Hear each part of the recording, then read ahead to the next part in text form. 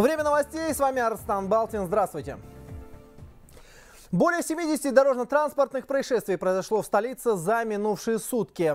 Один человек получил незначительные телесные повреждения. В департаменте полиции Нур-Султана просят водителей быть предельно внимательными, не превышать скорость и не оставлять автомобили вдоль дорог.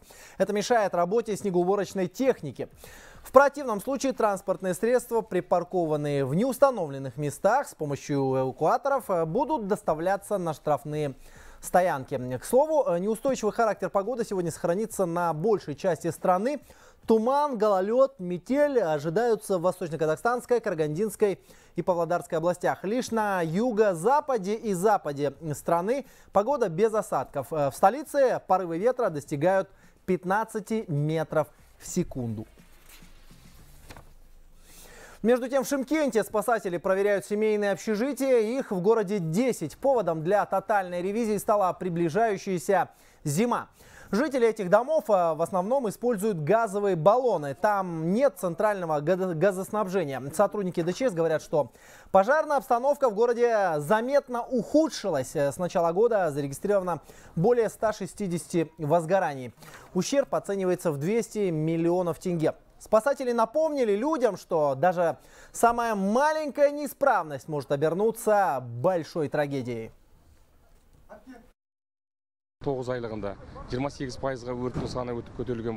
Количество пожаров за 9 месяцев этого года увеличилось на 28%. Статистика не радует. Даже случайно брошенная спичка может привести к трагедии. Сейчас мы проверяем, как люди соблюдают правила пожарной безопасности. Это тоже дает свой результат. Лишних рук в скорой помощи не бывает. Волонтеры от ИРАУ помогают врачам не от ложки отрабатывать вызовы. Машин не хватает. Автопарк местной власти обновляли 4 года назад. Медиков часто критикуют население, медиков часто критикуют население за опоздание, но молодые э, люди, поработавшие в экстренных бригадах, поняли, что на это есть свои веские причины. Четвертая бригада, ответьте, центральной станции, четвертая бригада. Ежедневно на пульт городской станции скорой помощи поступает более тысячи звонков. Из общего числа вызовов есть немалая часть необоснованных обращений граждан. Э, если человеку там просто плохо, там головная боль, они говорят, что сердцем плохо. Из-за этого повышается категория. Это вызов считается как первой необходимости. Бригады направляют туда, но там соответствующего заболевания нет.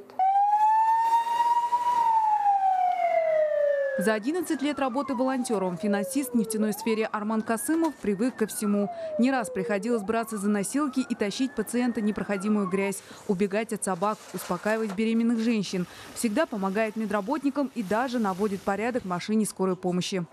Моя задача машину приготовить внутри, порядок навести. Потому что обычно с одного вызова выезжаем, и в машине бардак. То есть пациента в больницу отвезли, госпитализировали, но пока мы его везли, э, бригада какие-то манипуляции проводила. И после этого часто бывает то, что в машине рвотная масса, либо еще какие-то биоматериалы. Нагрузка за смену часто бывает такой, что ни о какой еде, чае, кофе в течение многих часов речи не идет. Машина сейчас с вызова выехала, мы стоим. Часто бывает вот, именно вот этот момент снимаете, и говорят, скорая стоит, ничего не делает. Что сейчас они делают? Они просто все, что сейчас было, записывают, заносят в систему, есть планшеты, и в эту планшету заносят, допустим, прибытие, выезд, там, оказанная помощь, то есть все документы заполнять. Буквально две минуты получим следующий вызов и дальше поедем. Температура до 39 градусов при нормальном самочувствии, кашель, похмелье, болезни животных – это не повод вызывать скорую. В этих случаях врачи ничем не помогут. А отнимать время у бригады, в которой, возможно, нуждаются более тяжелые больные, непозволительно, считает фельдшер бригады скорой помощи Куралай Искакова. Э, кешкі сменіміз 17.00-де басталады вечерняя смена начинается в 17.00 работа продолжается до 9 утра вызовов бывает очень много не успеваем и задерживаемся среди них есть и ложные вызовы и это только усложняет нашу работу адрес берген аға Замедляет работу бригады, помимо нехватки транспорта, когда жители говорят неправильные адреса и не выходят навстречу, а порой даже вступает с ними в драку, находясь в алкогольном или наркотическом состоянии. Такие моменты не думаешь об оказании помощи ближнему, а скорее своей безопасности. Следующий год в Казахстане объявлен годом волонтера. Арман Касымов надеется на положительные изменения. Я очень надеюсь, что в законодательство будут а, внесены соответствующие поправки, которые позволят волонтерам нашей республики заниматься не только благотворительностью, э, не только в тех сферах, в которых сейчас трудится огромное количество волонтеров, но и стать волонтерами-медиками.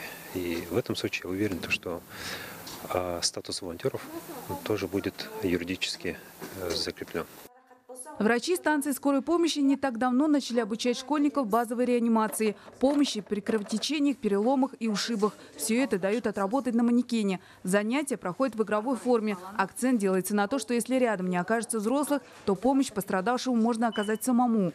И, возможно, тем самым спасти чью-то жизнь. Гульмира Сутубаева, Амантай Матенов, Жандос Рахметулин, Атрау Хабар 24.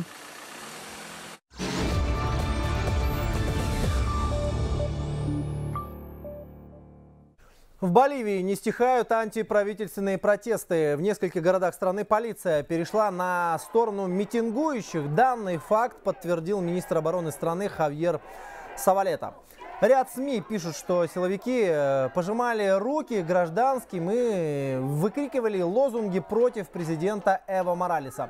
На фоне произошедшего в оборонном ведомстве заявили, что правительство больше не будет привлекать военных к обеспечению порядка во время массовых протестов. Напомню, люди вышли на улицы после оглашения результатов голосования на президентских выборах 20 октября. Тогда победу одержал действующий глава государства, что вызвало недовольство среди жителей. За время акции протеста в разных городах Боливии пострадали больше 380 человек.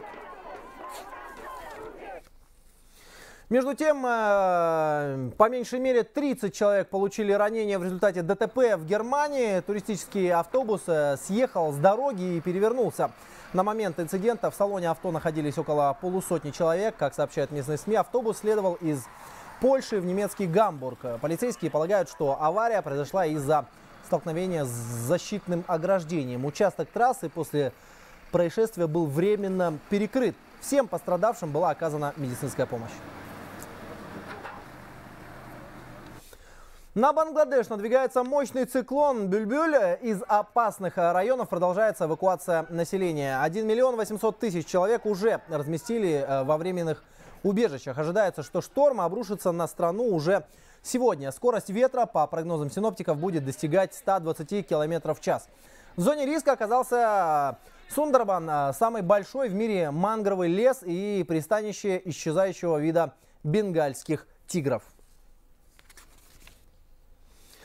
На проходящей в Женеве 34-й сессии рабочей группы универсального периодического обзора Совета ООН по правам человека Казахстан защитил третий национальный доклад о э, выполнении международных обязательств в сфере защиты основных прав и свобод человека.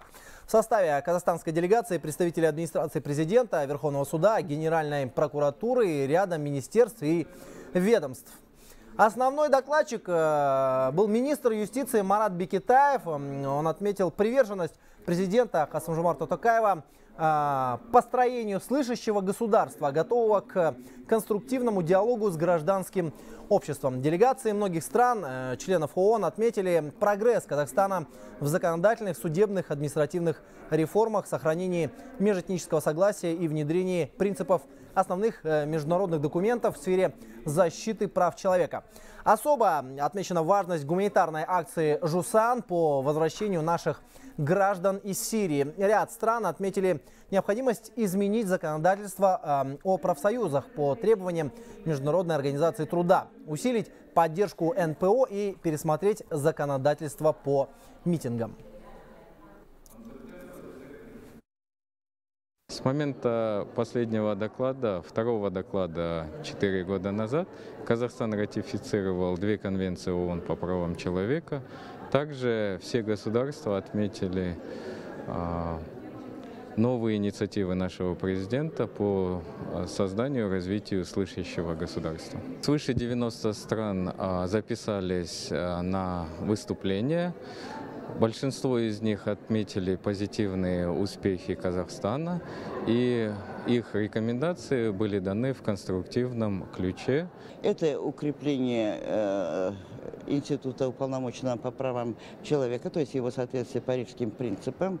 Это присоединение ко второму факультативному протоколу, это по полной отмене смертной, смертной казни. Это и борьба с, с пытками, э, это и прежде всего для вас, э, журналистов, значит, декриминализация этой статьи о клеветы, что они будут его переводить в административный кодекс. И прав женщин, прав детей несовершеннолетних, это и участие женщин в политической деятельности, хотя я сегодня обратила внимание, что членов, членов делегации э, было больше женщин, э, чем мужчин. Особенно в первой части фактически все делегации, опять же европейские делегации, отмечали вот позитивный момент создания НСОДа. И они считают, что вовлечение общества и создание слышащего государства, это э, даст большой импульс вперед к развитию Казахстана.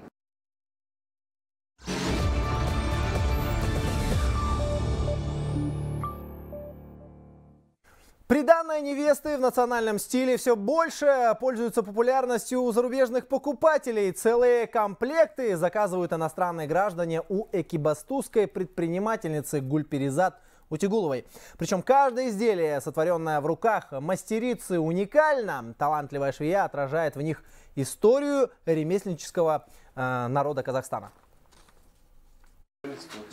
В мастерской Гульперизат Утигуловой хоть и тесно, но размах творческой мысли безграничен. Казахские узоры рождаются буквально на лету. В руках мастерицы каждая курпешка или подушка становится настоящим шедевром. Порой одна такая вещь собирается из 300-400 маленьких частей. Чем сложнее работа, тем она интереснее покупателю. Людям нравятся насыщенные узорами вещи. Конечно, сложно их вышивать. Но что не сделаешь ради того, чтобы клиент остался доволен. Тем более делаем мы их универсальными и прочными к частой стирке. Это искусство передавалось из поколения в поколение. Настолько богатым и неповторимым казахские ремесленницы готовили приданное невесте. Так и желали богатства и благополучия, чтобы жизнь молодоженов была насыщена и прекрасно, как эти узоры.